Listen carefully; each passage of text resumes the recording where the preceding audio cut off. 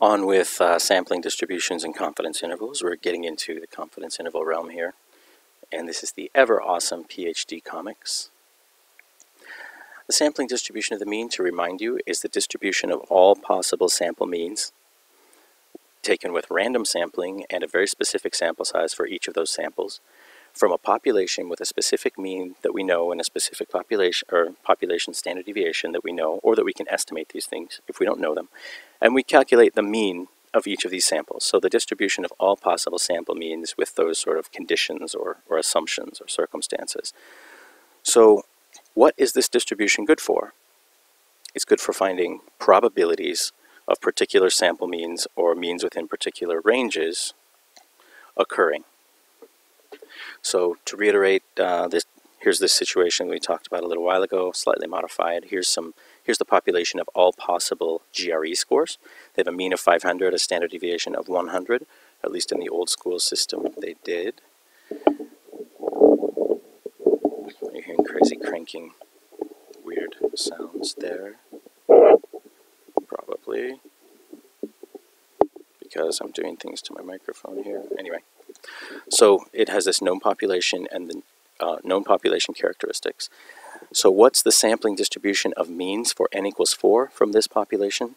That sampling distribution is going to look like this, a little bit skinnier, because the sample size tells you how big the standard deviation should be. The standard deviation of this sampling distribution of means is 100 divided by the square root of the sample size, the square root of 4. 100 because that's the original standard deviation of the raw scores, and you use that divided by the sample size to find the standard deviation of the distribution of means. So in this case, it's 50. There you go. And the z-scores are much more squished in. Now, 1 to 1 is right here, but you go down here, 1 to 1, negative 1 to positive 1 is a wider area.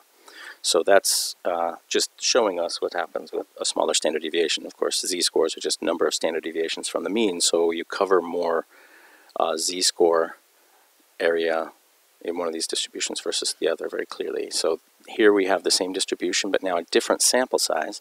And the sampling distribution of this, uh, for this sample size, is noticeably skinnier because we had to divide by the standard deviation of a larger number to find the standard deviation. So now there's a sample size or a standard deviation of 25. So the standard error is 25 here. And the distribution of z-scores is much more squished in now between the numbers that in the original raw score distribution gave you approximately negative 1 and positive 1, you have almost negative 4 and positive 4. You have a huge portion of the, of the area curve, or of the normal curve, contained within what was just 68% of the scores now. So there's a big reduction there. And here's what those two sampling distributions look like, overlaid on top of each other and with the original distribution, in case you were deeply curi curious about that, because I, I know I was. So now we have a larger sample size, sample size of 400, which gives us a much skinnier distribution. So this, the standard error now is only 5. So the standard deviation of the sampling distribution of means, or the standard error of the mean, is 5 now. 5 down from 100. It's 120th the size that it was before. And the standard and the uh, z-scores are super squished in now, much more squished in almost all those means are going to be found within a pretty narrow range uh, on either side of the population mean there. So this is a, a representation of n equals 16 and n equals 400 compared to the original population. The original population, well, we had to make this so tall so you could see how tall this one is here, that the original population is really looking pretty low and flat there. Believe me, it's still normal though. It just is really hard to see when it's so squished down like that. So More jokes about stats. Now on to confidence intervals. Let's talk about how we do those. What is a confidence interval? It's the middle part of a sampling distribution. The end, that's pretty much it. That's a confidence interval. But you can interpret it a lot of different ways. It has many different meanings depending on your perspective, and all these meanings are valid. It's a measure of how precise our measure est our, our estimation method is, and this includes all sorts of stuff, like what measures we used and what um, stats we used to come up with our our measures of center and how much variability there is in the phenomenon. So it includes all the things that we talked about in class that, that affect the size of confidence intervals. Smaller is more precise. It's also a reverse z-score problem. where we say find the middle 95% or whatever, the dividing points in the normal distribution, um, if we give you the mean and the standard deviation. And it's we, you have the area, 95%, and you need to find the two raw scores, or at least scores that are in the scale of the raw scores. They're actually means, hypothetical means, that would divide that middle 95% from everything else. We can roughly estimate a 95% confidence interval which is plus or minus two standard errors because the z-score for 95% of in the center of a normal distribution is 1.96, so negative to positive 1.96 z-score gives you uh, almost, well, it gives you 95%. And so plus or minus two standard errors gives you slightly more than 95%. So we can say it's approximately 95%. And we can use that to demonstrate how to use how to make confidence intervals. So let's look back at this distribution. The raw scores have a mean of 500 and a standard deviation of 100 we have our sampling distribution that has a standard error of 50. So now if we want an approximate 95% confidence interval, we just have to go two standard errors up from the mean and two standard errors down from the mean. On those two numbers are our confidence interval. A standard error is 50, so two standard errors down is 50 and 50, so it's down to 400. And one standard error up is 550, and two standard errors up is 600. So we usually express this without referring to this to this sampling distribution that we did. I mean, mentally it's all happening there, and in the math it's all happening, but we usually express our answer just as if it was just right there with the sample values. We say our mean is 500, and our confidence interval is 400 to 600. Now I use the squiggle equals because it's not exactly that, but we'll talk about exactly what it is in a minute. So here's another situation sample size of 16, which gives us a standard error of 25. What's an approximate 95% confidence interval for the same mean if we have um, a sample size of 16 instead of 4? It's going to be smaller, right? Because this standard deviation is smaller, this distribution is smaller, there's more area contained within a smaller space on the number line. So it's going to be two standard deviations down and two standard deviations up. So two standard deviations down will be 50 points down from 50 from 500, and two standard deviations up will be 50 points up from 500. So we would report our sample mean was 500 and our 95% confidence interval was approximately 450 to 550. So now that confidence interval is half the size of the other one. Wait, half? Anyway, smaller. So let's look at this again, but now with the huge sample size, n equals 400. You know, the standard error here is 5. So the approximate 95% confidence interval is tiny. It's just two standard errors up and two standard errors down. But now a standard error is only five points. Now my graph might not be exactly to scale because it gets pretty hard to squish everything in there. So our approximate 95% confidence interval now is 490 to 510. So if we had taken a sample of students who took the GRE and uh, we had 400 GRE scores, and our mean was 500, we would say our best estimate of the true population mean of GRE scores is 500, 95% confidence interval, approximately 490 to 510. That's how we would report that. So getting more precise, we should use the real z-scores, not that approximation of plus or minus two standard deviations, because that doesn't give you exactly 95%. You need plus or minus 1.96 in any normal distribution, plus or minus 1.96 standard deviations on either side of the mean will give you 95% or very close to 95% of the, of the uh, area of that distribution. So applied to the sampling distribution of means, that's what we need to do. We need to do 1.96 standard errors on either side of the mean, and that will give us uh, our 95% confidence interval. So going back to these examples, sample size of 4 where the standard error was 50, we would go 1.96 50s, and then 1.96 50s up. So the real 95% confidence interval, we'd have to go 500 and count down 1.96 times 50, which isn't going to be quite the same as 2 times 50. So we're not going to quite go down to 400. We're not going to go down to 550 and 400, or sorry, 450 and 400. We're not going to quite make it because 1.96 isn't quite big enough for that. And we're going to go up, and we're not going to quite make it to 600. So when we calculate that confidence interval, we're going to go 1.96 standard errors down and 1.96 standard errors up, and that will give us a confidence interval of 402 to 598. And that's our actual 95% confidence interval. So here, when we had sample size of 16, and the standard error was 25, then we do the same thing. Oops, the real 95% confidence interval.